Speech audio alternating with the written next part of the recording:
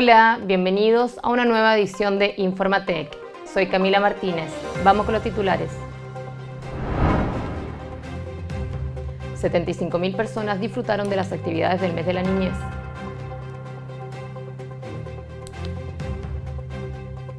Primera reunión en terreno por la ruta Villarrica-Lecanray. Biblioteca Galo Sepúlveda inaugura primer cineclub municipal Enrique Eilers.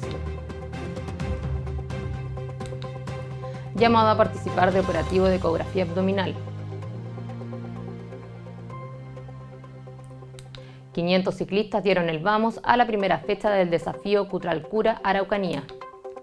Iniciamos las informaciones de hoy con esta nota relacionada con el mes de la niñez.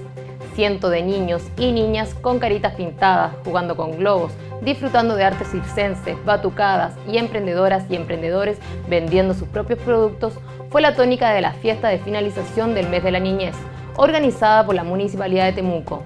El fin de semana contó además con el masivo show final de la agrupación Cantando Aprendo a Hablar, que congregó a miles de personas en la explanada del Parque Isla Cautín. Con un despliegue por todo el parque urbano en diversos stands, las familias asistentes pudieron disfrutar de pintacaritas, talleres de globoflexia, mandalas, malabarismo, food truck, concursos y sorpresas, con miles de personas disfrutando en la Plaza de la Niñez. Las actividades de este fin de semana se suman a la exitosa jornada del pasado fin de semana también en la isla Cautín. Las actividades programadas y ejecutadas por la Unidad de Parques Urbanos y la Oficina Municipal de la Niñez ofrecieron un espacio de recreación y esparcimiento a los más pequeños de Temuco, quienes respondieron masivamente a esta oferta, que busca además promover sus derechos. Escuchemos a los responsables de esta iniciativa. 75.000 personas y cientos de niñas y niños participaron de las actividades del mes de la niñez en el Parque La Cautín. Estamos profundamente contentos, satisfechos por el trabajo realizado, por la participación de la ciudadanía y todo lo que se ha logrado en el Parque La Cautín. Sin duda, esto nos deja claro que Temuco aprovecha sus espacios al aire libre, de forma ordenada, tranquila y en familia. Seguiremos teniendo actividades municipales para la entretención de la comuna y sobre todo para las familias. Por eso estamos muy contentos del logro y del cierre del mes de la niñez en el Parque Isla Cautín. Muy emocionados porque no veníamos hace muchísimo tiempo, así que nos vamos con el corazón lleno. Muchas gracias Temuco, especialmente a todos los niños y niñas que están en su mes, eh, el mes de la niñez y que nos vinieron a acompañar hoy día con mucho cariño. Y claramente, ¿por qué no? Vamos a agradecer también al alcalde Neira que nos invitó a estar acá en este lugar tan hermoso como es el sur de Chile, Temuco, y que lo queremos muchísimo porque ya no es la primera vez que venimos, así que nos vamos nuevamente muy contentos y felices. En otro tema, veamos esta importante noticia para Ray. La primera reunión de presentación del proyecto Mejoramiento Pasada Urbana Ruta S95T en la ciudad de Villarrica realizó la consultora ICR, junto a equipos técnicos de la Dirección de Vialidad del Ministerio de Obras Públicas y del municipio local, con la finalidad de establecer el primer diagnóstico del próximo estudio que pretende ser lo más completo y participativo posible respecto a una solución de fondo a la congestión vehicular de esta zona el denominado estudio de prefactibilidad que incluye próximas consultas ciudadanas y participación de comunidades, persigue trazar una nueva vía de conexión para los usuarios, desde la ruta Freire hacia Licanray y conexiones con Pucón y zonas aledañas. Escuchemos al alcalde de Villarrica.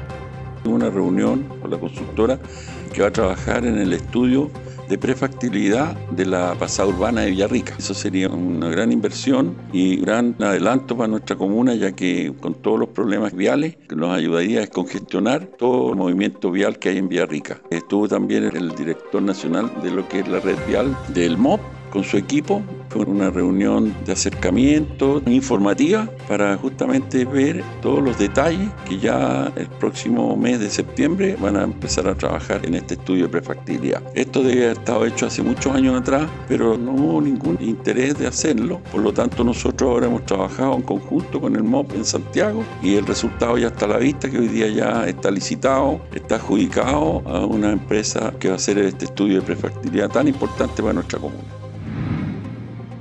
Cambiando de tema, vamos con esta noticia cultural. La Biblioteca Galo Sepúlveda Fuente inaugurará el primer cineclub municipal Enrique Eilers, con la presentación de un ciclo de cine abierto a la comunidad y dirigido a personas mayores, que contempla una selección de seis películas de culto que serán exhibidas de forma gratuita todos los miércoles desde el 31 de agosto hasta el 5 de octubre a las 16 horas en la sala de teatro de la Biblioteca Municipal actividad que busca formar e insertar público en la apreciación del cine a través de filmes clásicos y populares de gran relevancia cinematográfica y cultural. Así lo explicó Bruno Toro, docente de la Universidad de la Frontera e integrante de la Asociación de Cineclubes Chile, quien estará a cargo de la programación de la cartelera. La invitación es para todos los amantes del séptimo arte a inscribirse a través del portal www.destinotemuco.cl en la sección Eventos, donde podrán ser parte de una experiencia que incluye espacios de conversación y opiniones al final de cada sesión, dirigida por el académico y crítico de cine Bruno Toro. Escuchemos al alcalde Neira. Estamos muy contentos de presentar esta nueva oferta cultural a través del primer cineclub municipal que busca difundir el arte del cine nacional e internacional de forma gratuita a la comunidad. Además, busca homenajear de manera póstuma al profesor Enrique Elias Moore, quien fue su mentor y amante del cine, fotógrafo, creador de los Cine Club y formador de varias generaciones en apreciación cinematográfica en esta región. En otro tema vamos con esta nota relacionada con la salud. Un operativo de ecografías abdominales está realizando el Departamento de Salud de la Municipalidad de Villarrica y está dirigido para hombres y mujeres usuarios de FONASA entre 35 y 49 años y que se atiendan en cualquier centro de salud de la red municipal. Los interesados deben concurrir a su centro de salud donde se atienden habitualmente. En estos centros de salud ya muchos tienen sus horas asignadas y deben concurrir a realizarse este importante examen preventivo y aquellos que no tienen una hora o una orden de examen pueden solicitarla y concurrir a realizarse este chequeo médico absolutamente gratuito. El objetivo de este examen preventivo es prevenir el cáncer de vesícula, según lo explicó la doctora del CEFAM Villarrica, Francisca Valdés. Escuchemos a la doctora Valdés. Sí, hace dos o tres semanas empezamos con el operativo de ecografía abdominal que está eh, intencionada para la población hombre y mujer eh, beneficiarios de FONASA entre 35 y 49 años. Eh, bueno, los pacientes tienen que acercarse a su CEFAM o CECOF donde están inscritos, tienen que ser pacientes de FONASA inscritos en algún centro de salud. Hay algunos que ya tienen su orden de atención solicitada con anticipación si es que no la tienen, em, también se pueden acercar a, su centro de salud y solicitarla para que sean ingresadas. Eh, pacientes de 35 a 49 años, hombre o mujer. Esto está destinado a nuestros usuarios. Em, no es necesario que tengan síntomas abdominales porque esto está destinado a la prevención del cáncer de vesícula. Ese es el objetivo. Por eso 35-49 años, que es eh, colelitiasis, es dentro de la patología GES. Lo importante es que, eh, que tenga dentro el rango de edad, que sean beneficiarios de FONASA y que estén inscritos en un centro de salud y se tienen que acercar a ese centro de salud. Este operativo está centralizado en un centro eh, particular en el centro de Villarrica que tiene bastante facilidad en cuanto a locomoción y todo eso. Eh, se le asignan las horas, eh, tienen facilidad, disponibilidad de horas para los que son de rural, para que lo hagan en horario en que ellos sí pueden llegar a la ciudad. se le están dando todas las facilidades de horario y de días para la gente que trabaja, la gente que es de rural, eh, las personas que tienen dificultad en el acceso eh, por eh, movilización. también hay muchos que en estas últimas dos semanas se les ha llamado para darle su hora y no han llegado. Eso también se le hace un llamado que por favor asistan. porque tenemos una alta inasistencia, más de la mitad de los pacientes han tenido inasistencia a las horas que se le han asignado y eh, también hay muchos que los tenemos en la lista de espera, pero no nos hemos podido comunicar con ellos porque el número de teléfono ya sea no corresponde, no existe o no tienen em, eh, conexión en el lugar donde ellos viven. Y la idea, bueno, este operativo se hace todos los años, se empieza normalmente entre junio y julio con el operativo, eh, pero se le hace el llamado a que lo aprovechen porque, bueno, por un tema de prevención también está la disponibilidad, están todas las ganas, están eh, el oferente eh, tiene toda la disponibilidad de horarios, ha hecho todo lo posible por llamar a estos pacientes, contactarlos, darles facilidad de, hora, de horario, de todo. Entonces la, la, idea es que aprovechen esa instancia que se les está ofreciendo eh, para que tengan sus controles, por lo menos este control al día. Para terminar las noticias locales, vamos con esta nota deportiva. Con la presencia de 500 inscritos, en la comuna de Lautaro se desarrolló la primera fecha del desafío Putra al Cura, evento ciclístico modalidad mountain bike, financiado por el gobierno regional de la Araucanía y que contará con un total de cuatro fechas en las comunas de Vilcún, Cunco y Lonquimay. Para dar el vamos a esa instancia, el gobernador regional Luciano Rivas y el alcalde de Lautaro, Raúl Chiferli, dieron la partida a los deportistas que llegaron hasta la escuela Malpichahue para iniciar un recorrido de 22 kilómetros por caminos de ripio y senderos hasta llegar al sitio geológico Sillón del Diablo, con una altimetría de 290 metros en un evento que marca el inicio de este desafío que recorrerá las comunas de la región y que es con inscripción gratuita para todos los ciclistas. Destacar además que este desafío tendrá su segunda etapa el próximo 1 de octubre en la comuna de Vilcún, para luego trasladarse el 29 de octubre a Cunco y finalizar su cuarta etapa en Lonquimay el 19 de noviembre. Veamos la nota.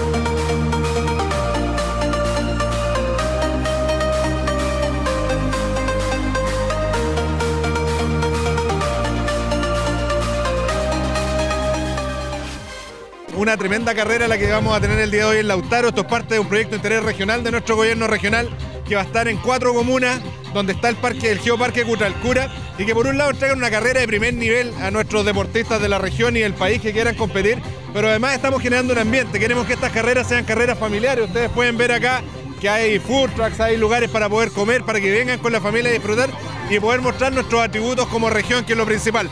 Nos interesa mucho fomentar el deporte en la región, por supuesto, y por eso tenemos este tipo de proyectos aprobados por nuestro Consejo Regional. Agradecer también al alcalde de la comuna que parte acá en Lautaro esta carrera pero que la vamos a seguir potenciando en cuatro fechas más, así que para que todos estén muy atentos y seguiremos trabajando en esta línea, mejorando la calidad de vida de las personas, mostrando las bondades de nuestra región de la Araucanía, incentivando el turismo, los emprendedores, el comercio y potenciando cada una de las comunas, así que felices de poder estar en un evento de primer nivel como este. De verdad que estamos muy contentos, eh, una la presencia de los, de los, ciclistas que han llegado a distintas partes del país, son más de 500 personas que, que tuvimos que cerrar la inscripción porque había mucho más llegadas.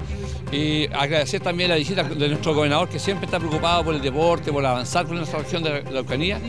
Está hoy día en Lautaro, llegó también para participar completa la carrera.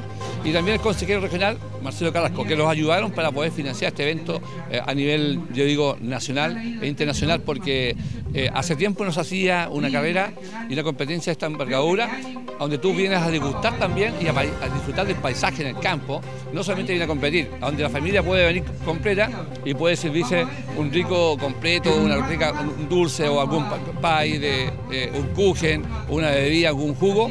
Y eso invito a la, ciudadanía que esto, y a la región de Ucrania que sigamos haciendo este evento tan importante organizado por la Asociación Contra el yo soy presidente, y el gobernador siempre ha estado dispuesto a colaborar y está colaborando. Excelente, eh, de verdad esta es la primera vez que participo en una carrera y no, espectacular, no me lo esperaba así como se ve. Súper organizado, hay harta comida, que es lo importante, y harta hidratación, no, genial. Mira, eh, vengo hace rato en el ciclismo, pero habíamos parado con la pandemia, tenía miedo de salir y ahora como ya se levantó un poco, ya volví de nuevo. Ojalá que hoy día nos vaya bien. Le hemos puesto harto para poder estar acá. Eh, todavía no empieza la carrera, obviamente, pero ¿qué es lo que has podido ver? ¿Qué te ha parecido la organización? La organización, buenísima. Está bonito el lugar, es un poco lado por la mañana, pero se ve que la ruta va a ser bastante buena y con un desafío personal por cumplirle y poder llegar a la meta. A continuación vamos con las noticias internacionales con nuestro canal asociado Deutsche Welle.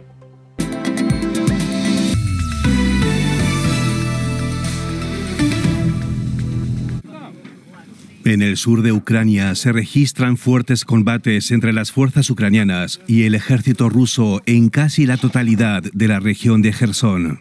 Las tropas de Kiev lanzaron una contraofensiva, informó este martes la presidencia ucraniana. Rusia, que ocupó esta estratégica región al principio de la guerra, aseguró que hizo fracasar las acciones ucranianas. Tanto las afirmaciones rusas como ucranianas no han podido ser verificadas con fuentes independientes. Tras un llamado a la calma por parte del líder chiita Muqtada al-Sadr, las fuerzas de seguridad anunciaron el levantamiento del toque de queda impuesto desde este lunes en todo Irak. El influyente clérigo pidió a sus seguidores que se retiraran de la fortificada zona verde de Bagdad, donde los enfrentamientos entre grupos rivales iraquíes han causado al menos 35 muertos y más de 250 heridos. Al-Sadr anunció ayer que se retiraba definitivamente de la política, lo que provocó que sus seguidores asaltaran el Palacio Presidencial y del Gobierno, obligando al Ejecutivo a suspender sus actividades. Las tensiones se disparan en medio de una crisis política que ha dejado a Irak sin gobierno desde las elecciones del pasado octubre. El ministro de Relaciones Exteriores de Guatemala, Mario Búcaro, de visita en Taiwán, expresó su apoyo a la soberanía de la isla. Durante una reunión con la presidenta Tsai Ing-wen en la ciudad de Taipei, Búcaro dijo que el derecho a vivir en paz no es negociable. Guatemala es uno de los 14 países que aún mantienen relaciones formales con Taiwán que China reclama como propio. El Ministerio de Relaciones Exteriores de China reaccionó expresando que el apoyo de Búcaro no detendrá la reunificación de China y Pakistán necesita más de 10 mil millones de dólares para reparar y reconstruir la infraestructura dañada por unas intensas lluvias monzónicas que han provocado inundaciones y más de mil muertos. Las autoridades pakistaníes atribuyen estas devastadoras lluvias al cambio climático y afirman que el país sufre las consecuencias de prácticas ambientales irresponsables en otras partes del mundo. Por su parte, el Fondo Monetario Internacional aprobó una solicitud de Pakistán de más de mil millones de dólares adicionales en fondos de rescate.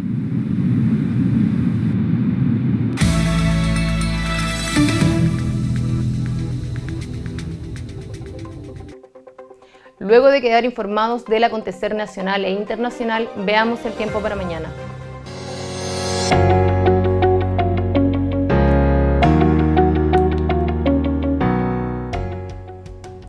Para Temuco se esperan cielos mayormente nublados con una mínima de 6 grados y una máxima de 14 grados. Angola estará con nubes y claros, con 7 grados de mínima y 17 grados de máxima. Puerto Saavedra estará mayormente nublado, con 7 grados de mínima y 12 grados de máxima. Villarrica se presentará con nubes y claros, 7 grados de mínima y 17 grados de máxima.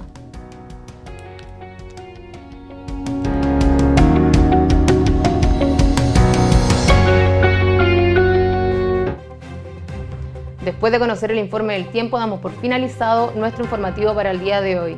Recordándole que nos pueden visitar en nuestras redes sociales que están apareciendo en pantalla o en nuestra página web www.tectv.cl. Nos vemos en una próxima edición de Informatec. Hasta pronto.